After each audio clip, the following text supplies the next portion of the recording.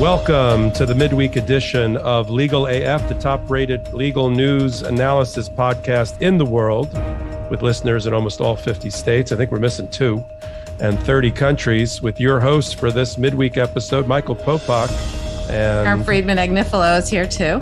All right, or as listeners like to call us, Popok and KFA. And on today's 40 minute pod, we will explore a fascinating quarter of the law, which we've never touched on in almost 50 episodes of Legal AF, which will interest culture and art lovers all over the world. We're going to talk about the recovery and the return of stolen antiquities, art, and artifacts, and the role of prosecutors, including leadership right here with Manhattan, Manhattan's District Attorney's Office and the Antiquities Trafficking Unit, which became a very muscular organization under Cy Vance. And just last month, for example, the office recovered and returned two Iraqi artifacts seized from billionaire financier Michael Steinhardt, he of the Steinhardt Gallery at the Metropolitan Museum of Art. Apparently, he was also, when he wasn't doing that, he was looting Iraqi and other artifacts uh, and antiquities for the last 30 years. And the office, led by those prosecutors, seized over 180 items worth approximately $70 million. And that office now has basically a mini museum of over 3,000 items valued at over a street value of over $200 million, um, awaiting their return. They've raided museums and auction houses, art fairs, and dealers. I have an interest in stolen art that really started in reading books. Um, there's one in particular uh, uh, called The Book Thieves by Anders Rydell about the Nazi looting of libraries and the recovery of those books and the return. And there's also been a really great article in The Atlantic with an overview of the Antiquities Trafficking Unit by Ariel Sabar called The Tomb Raiders of the Upper East Side. But who better to talk about this particular unit than one of its supervisors and founders, KFA? KFA, tell us about this unit and why why haven't we heard about it before? So uh, just a slight caveat that, uh, as we all know, and we said before, I can't talk about cases that I supervised, but the unit I can talk about because it has been widely uh, written about and publicized about. And so I just wanted to mention that. Uh, but the Antiquities Trafficking Unit at the Manhattan DA's office was officially created in 2017 by Cy Vance Jr. And, and the new DA, Alvin Bragg, has, uh, has signaled an interest in continuing this important work work because, as you just said, oh, since he started uh, in January, he's already repatriated several items back to their, their home country, which I think is a good sign that this work is continuing. But this, this unit was created in, in 2017, and it is the only unit of its kind in the world that is led by uh, prosecutors, and it is staffed with a, a chief prosecutor, uh, approximately three lawyers, several analysts who are also experts in art history and uh, several of their own investigators, and they work in conjunction with um, with federal and state and international uh, law enforcement truly all over the world. We've we've worked. Uh, the unit has worked with um, the Car- Carabinieri, uh, the Carabinieri um, police in Italy, and um, with, with other foreign foreign police forces, but also the FBI, Homeland Security, ICE, and uh, and other um, and other federal agencies, as well as uh, police agencies here in this country. Let's start basically. What is an antiquity? So, an antiquity is um, a very old artifact. So, think of things uh, from um, a thousand years BC, uh, the types of things that come out of the ground, uh, whether it's coins or tiles or um, or vases or sculptures. It could be um, parts of temples or pyramids. Uh, those types of things, just artifacts, ancient artifacts that are often recovered from the ground, frankly. And, and art art is included in that Karen? Yes, it could be ancient art as well. Uh, uh, many of these items are, are ancient art, but an antiquity is something that is very, very old and is um, from, a, from a different time. Okay. Is it a crime to, to traffic in antiquities? So it's very complicated because the, the question is is um, it, it, all involves uh, it all involves the provenance. Okay, so where did it come from, and are you allowed to sell it? And if you can prove the provenance that, in other words, that that each person was permitted to have it along the way. Then it's not a crime. Then it's um, just it's the um, buying and selling of of ancient art and artifacts. I mean you go to any museum like the metropolitan museum of art and you'll see um, items that date back to thousands of years ago. And those items uh, most of them and i'm sure many i, I mean I, I assume all of them are possessed legally. But every once in a while while, there is this there's trafficking of these items that were stolen and that weren't permitted to be sold and bought. And and that's where this unit goes in. And that's why there there needs to be expertise in this unit because you need to understand the difference between uh, antiquities that are permitted to be um, permitted to be um, bought and sold and items that uh, aren't. And that that's where why these cases are so complicated. But if if these are stolen then uh, the, the charge here in new york is criminal possession of stolen property. And, and the street value is is sort of if it's over a million dollars it's in the first degree which is a, um, a, a, serious felony punishable up to 25 years in in prison. Um, so you know the manhattan I, think manhattan is uniquely situated to have this kind of unit because first of all manhattan has um, many museums and many art dealers and art galleries. And so it really is a place where where um, it makes sense to have a, um, a prosecution unit that can that can do this uh, type of work. But also because new york law unlike federal law for example has um, a presumption in the law that that uh, allows prosecutors to bring these cases that federal law that federal authorities can't. So a presumption in the law means that once a prosecutor uh, proves a basic fact, so that a person possessed an item, right? Um, uh, th- you can presume that they knew it was stolen uh, because there's a presumption in the law. It's in in New York Penal Law Section 165.55, subdivision two, that allows uh, for for prosecutors um, to argue and, and the judge to instruct the finder of fact, which is mostly uh, most of the time a jury, that a person who's in the business of buying, selling, or dealing in uh, property who possess uh, stolen property, um, the property is presumed to be stolen if uh, they have it without doing a reasonable inquiry that the person from who they obtained it had a lawful right to possess it. And so it's that presumption, it's a rebuttable presumption and and and the and the defense can choose to prove otherwise if they decide to put on a, a defense. But it's a real tool in the toolbox that new york prosecutors have that the feds don't um, because it allows a, a, lot of the individuals who possess these items will say, Well, I just didn't know. And um, I had no idea. I was buying it from what I thought was a lawful dealer. I mean, look at the Met, the Metropolitan Museum, look at Sotheby's, look at Christie's. You know, the, these are people, these are organizations that are in the business of buying and selling things. But this allow this makes it so the presumption makes it so the, these people who deal in these items, they cannot turn a blind eye and claim willful, you know, willful ignorance so let, so let me use an example. There was a federal prosecution a number of years ago. And if you were involved in it, you'll tell me you were involved in it. We'll stop talking about it. But Hobby Lobby, were you involved with Hobby Lobby? I was not, but I'm familiar with it. so Hobby Lobby brought in and bought the owners of Hobby Lobby, uh, a craft store, liked antiquities, and they bought from Iraqi dealers hundreds of thousands, if not millions of dollars worth of artifacts and antiquities and had it shipped to them in boxes labeled tile, like they were buying tile. And ultimately, the feds did an investigation, the federal government prosecutors did an investigation, and you know they paid a civil fine and uh, I'm not even sure what happened to the antiquities, but they certainly weren't prosecuted to the fullest extent of the law, which it sounds like they would have been in New York. If that had happened in New York, what do you think would have happened?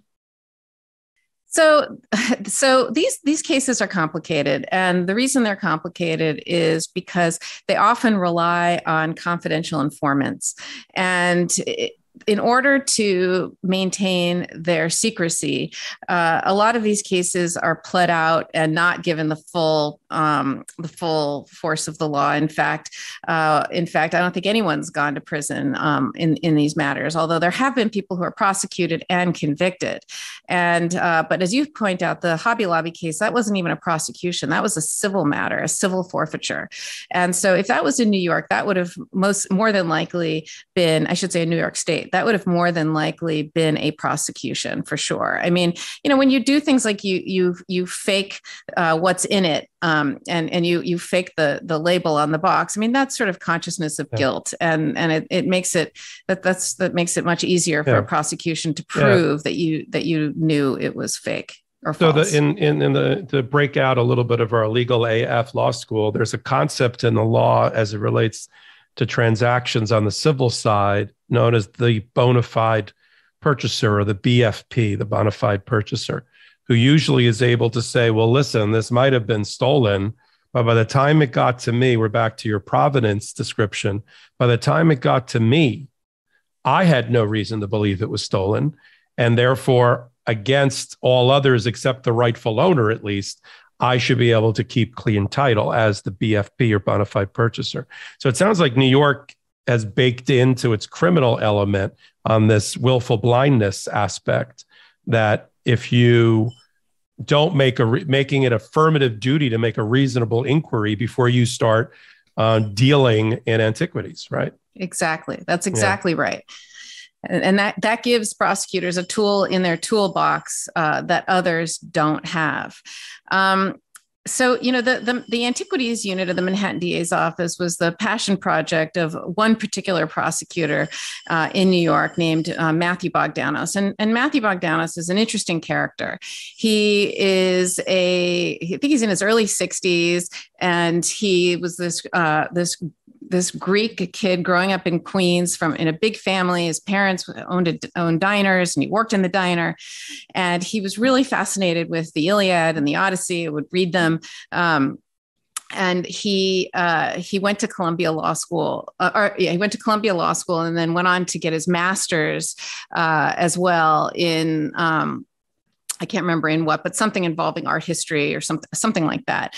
And um, and Matthew uh, joined the Marines, and he was a Marine Corps lawyer before joining the Manhattan DA's office. And at the Manhattan DA's office, he came up as a as a regular prosecutor. He uh, he did homicide prosecutions, and and in fact, he has done some of the most high profile homicide cases that have um, that have come out of the Manhattan DA's office. He's a real serious prosecutor, but on the mm-hmm. side, mm-hmm. he's always had this interest in in art and antiquities. Well, well and, as a Marine, he led the group that. Uh, um, was investigating the looting of the Iraqi National Museum, right? That's that's yes, sort of where yes. he got a taste for this. So in that's exactly right. So mm-hmm. in after in 9/11, he was called back uh, after 9/11. He was called up to active duty, and in 2003, um, uh, there was a um, uh, a war in Iraq. I think it was when we invaded Iraq in uh, in in 2003, and it destabilized Baghdad. And the museum there was overrun by looters, and and many, many, many items were stolen. And Matthew went to his commander, and he was in the counterintelligence unit. Mm-hmm. Um, and he went to his commanding officer and he asked for permission to go secure the items. And he took a team and he went to the, the museum. They slept in the library, I believe, if, I, if memory serves. And they set up there and they, um, they through a series of, of, of creating, am- giving amnesty to people who would return things. First, they secured the museum from further, uh, from further looting and plundering. And then they uh, set up an amnesty program for people to return stolen items, but they also conducted kind of these these raids uh, where they recovered um, items and they recovered a lot of what was taken from the museum and really helped preserve the the cultural heritage of Iraq by returning the, this property to them. And he since then, when he came back to the Manhattan DA's office, he continued the work and, and wanted to create a unit, but wasn't never given the opportunity until uh, Cy Vance um, until Cy Vance had a um, had had money that was seized in a um, money laundering case that could be used, could be repurposed, and he repurposed it by creating creating this unit uh, about five years ago. Yeah, yeah. Ma- Matthew needs a movie made about him. I mean, I'm just looking at his background. I mean, I don't know if his nickname in the Manhattan DA's office was Pitbull, but apparently in the military, his nickname was Pitbull. He made it to the rank of colonel you know, he got he got a Bronze Star. He was given a National Humanities Medal and honor for all the work he did on recovering Iraqi antiquities. I mean, this, I mean, you were his supervisor. He must have been he must have been interesting to supervise. He's a character. Yeah. He's an absolute character. Yeah. He he, you know, he, one of the one of the uh, trials he did. I think one of the only trials he ever lost was the Puff Daddy case, the Sean Combs gun case, and he lost that case. And you know, he he uh, it, he's tried just all different kinds of cases. He, he was a real interesting guy. He's um, he has a heart of gold, and um, yeah. but his nickname's more the Peacock because he walks around and, and preens like a peacock. Um, yeah, well, it's a, it's a Marine. That's a Marine. I'll tell you, he's a brilliant. He's a brilliant lawyer I'm though. Sure. He's, he's he's the best they have. Well, maybe we'll have we'll one day we'll be able to you know he'll get the appropriate permissions and we'll have him on the show with us. Talk, there was one thing that was in the um, the article that the Atlantic put out that I thought was fascinating, and I think it's so old you'll be able to talk about it, but I think it brings the point home of how aggressive this prosecutor's office is. Um, they talk about a sting operation for coin recovery that led to a raid at the Waldorf Astoria uh, and I think you were definitely involved with that from the way I read the article. Can, we, can you talk about that? Sure, I can talk about what was publicly reported. yeah, sure. let's do let's do that. Um, so so that was an interesting uh, that was an interesting case. So that was before the unit was actually created. Um, Matthew was doing these cases still, and um, and in 2011, right when uh, when Cy Vance was uh, was elected about I think a year before that he started, so still new to the office. In 2011, Matthew uh, came to um, came to us and said that the New York International Numismatic Convention was taking place at the Waldorf Astoria in New York. Now, at the time, I didn't know what a numismatic convention was about, but it's a, a coins. It's it's a coin collection, and um, and there's this whole numismatic society and coin collectors from all over the world, and they were coming to New York and uh, to have this. Um, to have this convention. And there we got information that there was going to be stolen coins that were uh, being traded or sold. And in Italy, there is a law um, that states that any coin or item uh, removed from the ground after 1909 is illegal. So if anyone who's been to um, Italy, there's there are ruins um, and there are there are um, archaeological digs that occur all the time, but those that property belongs to the country of Italy. Um, anything that that came out of the ground after 1909. So if you possess something from Italy, your provenance has to show that it was uh, came out of the ground before 1909. Um, so to prove that it's not um, not uh, illegal. And there are items, there are coins, for example, that that are that are known to exist that you can trade that the provenance has been identified and are legally possessed and traded in but these coins were new to the market and did not appear in any of the coin um, documentation of, of existing coins. And there was evidence that this, these were quote unquote fresh coins or recently dug up. Uh, and there was no paperwork um, to, to show uh, any provenance that was that was legal. And uh, an individual, uh, um, a pr- very prominent hand surgeon from I believe Rhode Island, named Peter Weiss or Arnold Peter Weiss, was um, was going to sell sell these coins, and they did a sting operation. He was arrested. Um, these were these were fifth century BC uh, coins worth um, approximately three hundred thousand dollars, and he ended up pleading guilty to three misdemeanors. And he did some community service. He paid a fine, and he wrote an article actually uh, for the Numismatic Society talking about the trade of illegal coins to help um, inform people so that other people wouldn't do this um, and couldn't couldn't do this, but in a strange twist. So, one of the things um, that we were very concerned about at the time was Are you sure this is real? Because, you know, uh, these ind- people who trade in antiquities are, are not your, your average defendant. I mean, these are, these are philanthropists, these are, you know, doctors, these are surgeons, these are, you know, wealthy people um, who, who trade in, in, in who, who go in sort of the highest um, society circles. And so and so um, there was concern are you sure? And we were sure. Um, and these coins it, they turned out to be fake but it was not easy to term to determine that they were fake. Uh, they had to we had to have them evaluated by some electron i can't remember what it was called but some super special microscope uh, that that doesn't exist um, you know it had to it had to go to a, a, specialist. And it was it was it was called an electron electromagnetic microscope or something. i can't remember what it was called but some special it was, it was to da- it was to date them? It was to and and yes it was exactly right. And it was only through that that we realized they turned out to to be fakes. But they were such good fakes that it really concerned us because the fact that there could be a market that there's such a market for these items that there's this other black market that creates these incredible fake coins uh, that even experts like um, like Dr. Weiss thought they were real and and was was going to sell them for over three hundred thousand dollars. That should just tell you uh, what kind of a black market there is out there for for antiquities and for these fake antiquities. He ended up pleading to attempted uh, attempted um, possession of stolen property because he thought right because he thought because it was he, real. He thought it was real.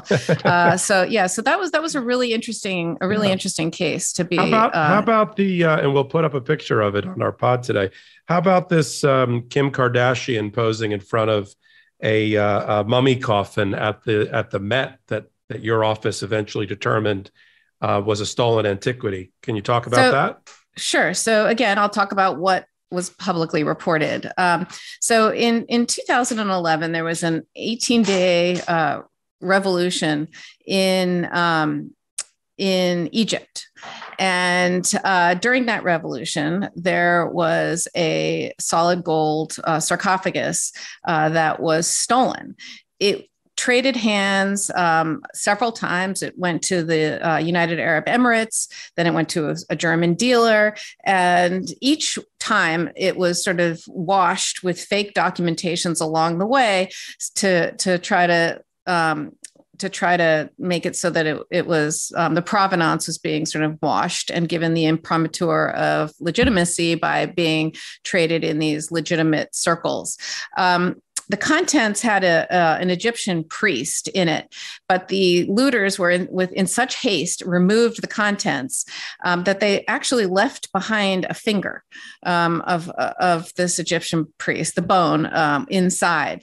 Now the um, the Met acquired this golden coffin. Uh, it was from the first century BC and paid $4 million from it. Now, there were some red flags that the Met should have been aware of.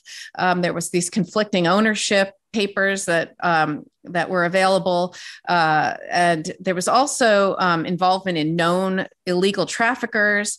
Um, the finger was missing the finger was in there. There was also um, also one of the, the the the export license from Egypt turned out to be forged, and the telltale sign was it said on there the Arab Republic of Egypt before the country, and it was dated before the country ever used that name. So any person, you know, you would think that the the Met. This is again sort of the turning the blind eye, the willful ignorance. I mean, the Met has they employ experts who who know these types of things, and before they're going to pay four million dollars for something um, they could very easily figure out that that this was that this was stolen. They were, but they were so blown away by the artifact this solid gold sarcophagus which Kim exactly Kar- which Kim Kardashian apparently matched her dress to when she took Well, the photo. so that, that- was in tw- right. that was in 2018 when she Right, took so the it's still photo right, it's still sitting. So it's pr- it's prominently displayed. So so how did your office get back?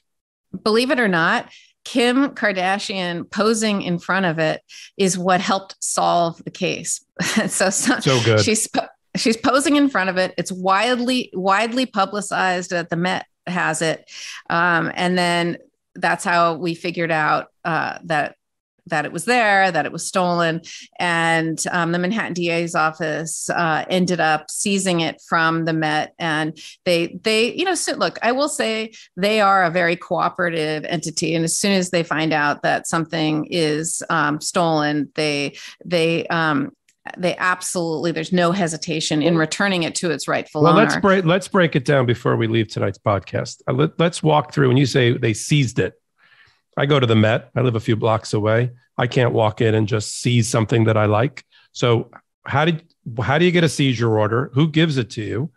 And then from there, what do you do with it? Is it still sitting in the mini museum at the Manhattan DA's office? Where is the sarcophagus today? Let's start with seizure. How do you how do you how does the office get a seizure? So I'm not so okay. I'm going to talk generally, not in about this Oh, case in oh. particular. I'll make you. So- I'll make you a blanket promise. You never have to talk about on this podcast anything that you worked on. Just talk in generalities. In general, thank you. So, uh, in general, uh, what happens is you get a search warrant, and um, in a search warrant, uh, you, what you have to do is you have an affiant or somebody who's going to swear in front of a judge and affirm that uh, that there's probable cause to believe that there is a particular item in a particular place that um, constitute either evidence of a crime or um, or or proceeds of a crime. And um, and you have to be very specific. You have to describe what the location is. You have to describe the facts and the details of, of how you have probable cause to believe that this exists and um, and that it's criminal. And you you put this in a document known as a search warrant and you go before a judge and the judge you know you swear in front of the judge and the judge um, reads it. And if they find that there's probable cause and that it meets all the other legal requirements they will sign the search warrant and you present that search warrant i mean you know there's different kinds of search warrants there's the dramatic no knock search warrant when you think something will be destroyed like drugs you know knocking on the door and the drug you know people have take have drugs and they're flushing it down the toilet You, You know, weren't in that- worried about the Met flushing the coffin down the toilet. Correct, correct. So, so typically um, in that situation, um, you just have to let them know that that it exists, and and they will happily, I, you know. Places like the Met and and other very reputable places, frankly, if you just go to them and tell them um, that it's stolen and show them why, I'm I'm I'm confident that they would uh, actually turn it over. But but it's still done, you know, you know, by a subpoena or some other means. But it, it's still done um, typically uh, with a search warrant and and then um, what happens is it has to be stored somewhere and at the manhattan da's office uh, they have they're they're clearly um, in the business of storing um, of storing evidence. I mean, that's been done, done all the time. Everything from drugs and guns to Trump's tax returns. You know, when they finally obtained those, they had to be stored. What You know, room so- are so- those in? Oh, sorry. so the, the Manhattan DA's office knows how to store valuable things. So so this was no different. Um, but there is a, a particular designated a, a couple of different areas, both on site and um, off site, uh, and you know they're packed, they're bubble wrapped. You know, look, some of these some of the items are these these you know vases, these really delicate vases that have to be bubble wrapped and packed and secured. Um, other items are are you know parts of temples that were sawed off and you can still see the saw marks and the grass marks on the ground you know from them from from when Is they it were on the ground Does, does the office insure these works? So that there's all, all kinds of of yes there's all there's all kinds of Okay. of, of complicated um, uh, uh, complicated things that go into the storage of these items, but they do try to repatriate them to their uh, rightful countries. And But what's the Um, process in the middle? So you've seized it by way of search warrant. Some some dealers or legitimate museums like the Met will say, "Okay, I see the paperwork, keep it." But I'm sure there's competing stakeholders that'll be like, no, we're going to fight for the return of this. Or a country steps forward and says, or you've identified the country as being where you're going to send it back. It doesn't go just search warrant back to the rightful owner, right? Isn't there a Correct. court process in between? Yes. Okay. So there's a court that there's a court process in between. So um, if there is a prosecution, then that's one court process. If there's no prosecution, there are sometimes when we recover items, but there's no particular person that you can say uh, is responsible or would have known. And so the or if there is um, a confidential informant that we that the prosecution doesn't want to reveal their sources and so it's not worth prosecuting the person for and they just want to return it. Many of the um, many of the uh, the individuals who would claim ownership um, don't want to call attention to themselves um, and so m- many of them will give the will will agree to relinquish their items and not fight for the ownership of the items. Um, and but sometimes it has to go before a judge, and the judge will have to determine uh, the ownership. And that, that would be determined um, any way that stolen property is determined. You know that's a process that goes on in any stolen property case where two different people claim ownership. And so that just happens through court process and a hearing and ownership and, and the ownership will be determined. And ultimately once it's determined to go to um, go to back to its owner and the owner is a foreign country it gets repatriated through a repatriation ceremony. And uh, and i actually um, there were a few times when when da vance was um, out of the jurisdiction and i was the acting district attorney. And during those times there were some repatriation ceremonies because the manhattan da's office has repatriated over over 1500 items uh, that they've that they've returned um, to to the countries um, that that they were stolen from. A lot of and ceremonies.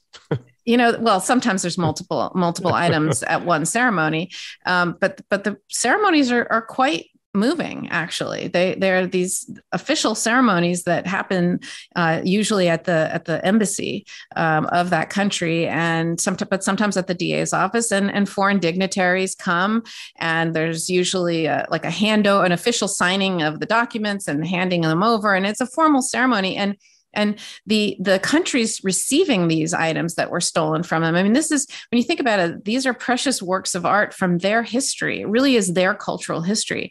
And it's really moving what it means to them to receive the, these items back. But you know sometimes countries aren't ready for their items uh, to, to receive them because perhaps they're still in the midst of some kind of destabilized um, a destabilized kind of uh, situation. And and those are the items um, that sometimes take a little bit longer to return. Uh, but there's, you know, right now they they have um, about a thousand or around a thousand items um, that are not in the process yet of they, are still in that process of that you were just asking about um, figuring out who the owner is to to return them well, what a fascinating aspect of your career and i'm so glad we had an opportunity to share it with our listeners and followers um, that's a wrap for this week. We're not we're not going to talk about mummies and sarcophaguses again, but uh, what a what a light that we're shining on a corner of law that you know most podcasts aren't addressing, and and who better to do it with than my co-anchor KFA. Uh, the audio for this pod will be dropping tonight on all platforms in which you can get your podcast from, from Apple to Google to uh, uh even Spotify and join my anchor and co-anchor Ben Meiselas this weekend when we do our regular edition of Legal AF, where we cover 10 or 11 hard-hitting topics at the intersection of law and politics. We do that live with a recording at 8 p.m.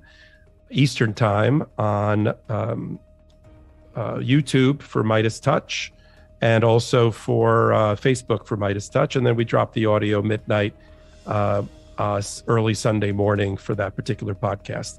So, um, any any final words, Karen, before we sign off?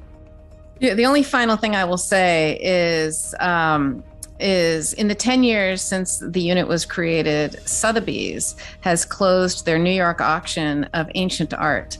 Uh, they closed that in 2017 and moved it to London. It used to be in New York. Uh, they say it reflects, they did it because it reflects the demand from collectors. I found it interesting. yeah, it, it, sounds like you guys did a good job of getting an auction house to relocate. But uh, this was a, this was my pleasure again. Signing off, Michael Popok and Karen Friedman Agnifilo for the midweek edition of Legal AF. Shout out to the Meidas Mighty and the Legal AFers.